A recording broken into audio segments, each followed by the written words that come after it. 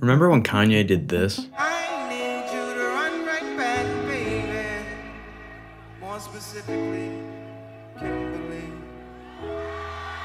If you're not familiar, that was Kanye performing to probably his largest crowd on record at the Larry Hoover benefit show. Over 70,000 people watched as he called out for his ex-wife to run right back to him. Kanye didn't just pick a random song to relay this message through. It was at the very end of an extended outro for Runaway, a track off of his 2010 album My Beautiful Dark Twisted Fantasy. However, this isn't the first time that Ye's used Runaway to get something off his chest. In fact, he almost always uses the outro of Runaway to let people know what's on his mind. From the debut of the song at the 2010 VMAs, all the way through the Life of Pablo tour. And if you really take the time to walk through each of these performances throughout the years, you start to see a more clear narrative forming around Ye, his relationship with the media, his relationship with other people, and more importantly, himself. I'm not going to dissect the meaning of Runaway itself in this video. I actually think there's already a beautiful video essay out there that does that by Alpha Media. For now though, just for foundational purposes for this video, just know that Runaway is a song about Kanye owning up to his own faults. When Runaway premieres, he's dealing with a handful of some pretty tough issues. The big three that come to mind are the death of his mother, Donda, in a plastic surgery mishap, his marriage to model Amber Rose kind of falling apart, and probably most notoriously the backlash he got for interrupting Taylor Swift at the VMAs. That last item made Kanye one of pop culture's most hated figures for maybe a whole year, and I think that's why so many people reference that event when they talk about Runaway, because Runaway almost seems like Kanye's internal resolution to problems like that. In the song, he basically admits to all of his faults, but he does not apologize for them. Instead, he plows through the only way he knows how as a celebrity on display by being arrogant and being Kanye, which are kind of just the same thing. So without further ado, Let's take a look at these performances. The first time Kanye goes off script for an outro of Runaway is relatively subtle compared to what he does for other outros. In 2011 at Coachella, he slips in the question, me, this reads out as Kanye calling out to his previous significant other before Kim Kardashian, Amber Rose. Amber was essentially there for all those three big, terrible life events I mentioned earlier, right? She was with Kanye through his darkest hour. And it sounds like Kanye isn't really too proud of how he treated her during those times, and he kind of recognizes that he is at fault for her deciding to run away. Fast forwarding just under a year to a runaway performance in Melbourne, Australia kind of solidifies this. She I gave you all my life, I gave you all my time, I gave you my best years, I gave up all these years, I gave you all my mind, I gave you all my time, I gave you my best years, I gave up all these years, I gave I'm thinking she is Amber telling Ye this as she's about to leave him. She really gave her all for him, and he still kind of didn't really treat her right. Ye then elaborates.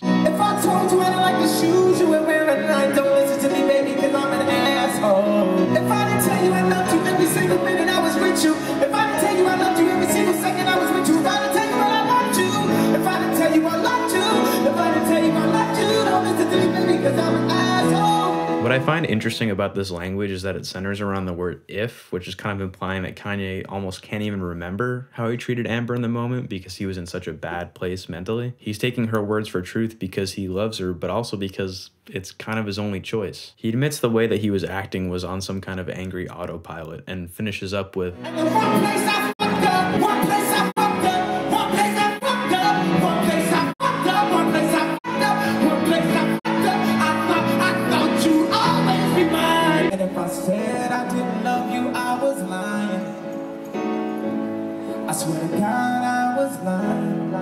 he even doubles down on that asshole line in his 2013 Gov Ball performance, adding,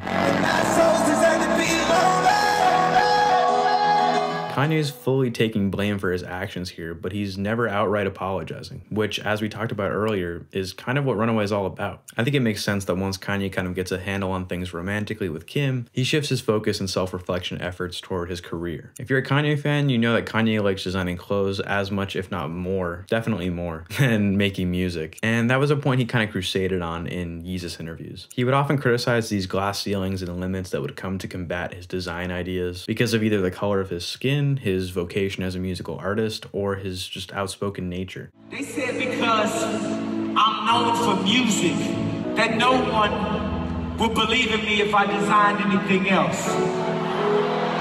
Probably the most notable example of this is Kanye's struggle with Nike over the Red Octobers. Yeah, he had a deal with Nike to do some shoes with them, but Nike never really treated him like a priority. Release dates were ambiguous, communication was slim, etc., etc. And overall, he just felt undervalued by the partnership. And to boot, Nike never ended up agreeing to giving Ye royalties off the shoes he designed for them. At a show in Philly, he makes the point Cause I don't go on these interviews and try to get people to like me. I go on these interviews to try to get people to like themselves. And back at that outro in Miami, he goes on to say, I am Walt Disney. I am Steve Jobs. I am Howard Hughes. I am Mandela. I am Malcolm X. I am JFK. I am Henry Ford. I am Michelangelo. I am Picasso. You know why? Because I'm all of you. And you give me the power to talk this shit again! He knows no one in the media would yield him the comparisons to the people he lists out, so he goes on to affirm them for himself. He almost paints himself as a martyr for society's dreamers. Like almost a, I'm running up against every societal limit and testing every construct just to show you how fallible it is, and how it's actually not as much in your way as you may think. In my opinion, this was the boldest era of Kanye. He was letting his heart and ideas bleed out on every interview, constantly being called rude, nuts, inconsiderate, whatever, and maybe he was to a degree. But he kept carrying on, not caring even doubling down. And that's the spirit of Runaway. I'm not crazy. I'm not out of control. I'm just not in their control. Towards the end of the Yeezus show, Ye kind of calms down a bit with his frustration toward the media and society, and closes a show in Sydney with And all things are possible through love. And you know, I could just look at look at my wife's eyes and look at my daughter's eyes and see the possibilities in life.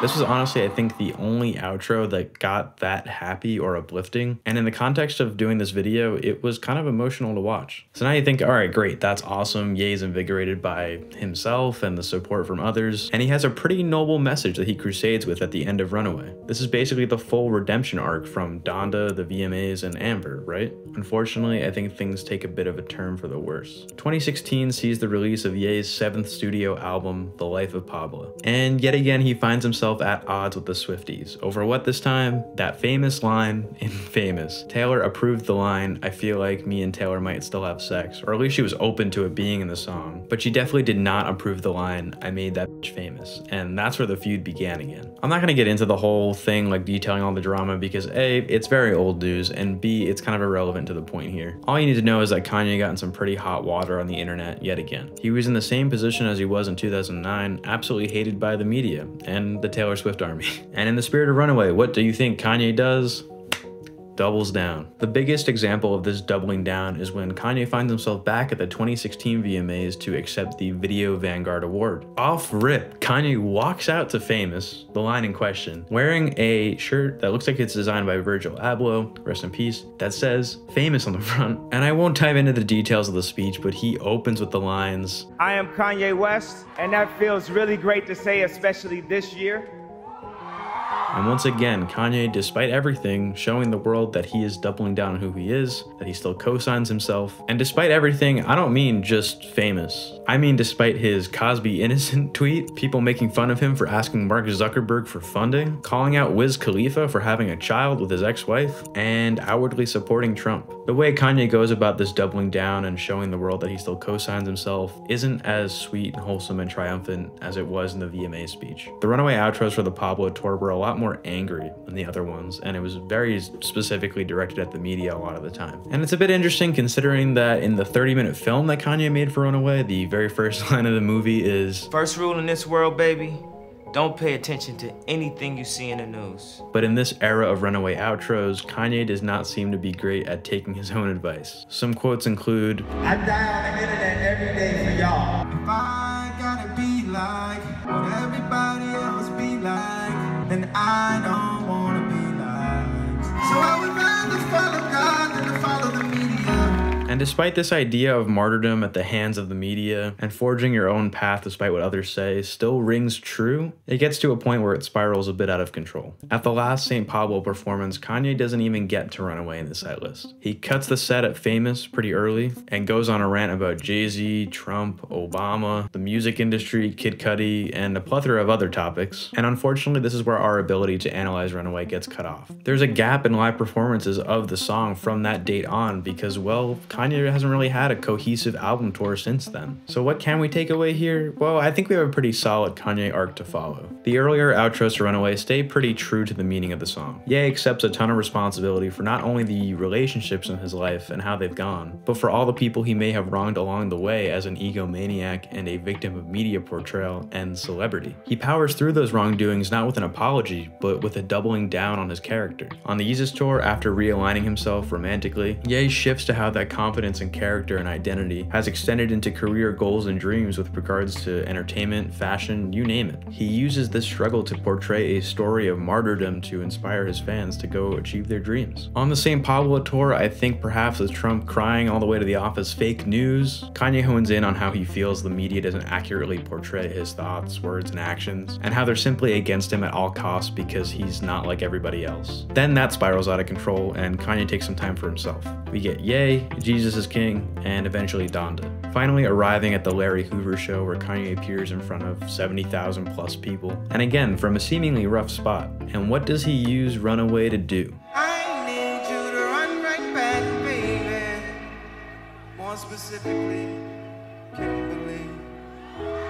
Again, not to apologize, but simply to ask vulnerably, boldly, please come back. The exact opposite of the song title. The Larry Hoover outro to me is Runaway running its full course. In my opinion, this was always the fate of the outro. I say that from a point of hindsight, obviously, but having sat with about 10 years worth of Kanye's words, it makes sense like this in my brain. The man who wrote a song about arrogance, fame, identity, and accountability uses the same principles and the same songs to try and recruit what was probably the most precious thing in his life. It's bold, vulnerable, and most importantly, very Kanye. I think that's it for this one. Let me know how this makes sense in your brain. This video took a lot to put together, so I would definitely like to hear your thoughts below. Tell me what you think of Runaway, tell me what you think of Kanye's arc, tell me if you think Kanye's happy now, whatever. I want to hear from you. Thanks for watching, and I'll see you in the next one.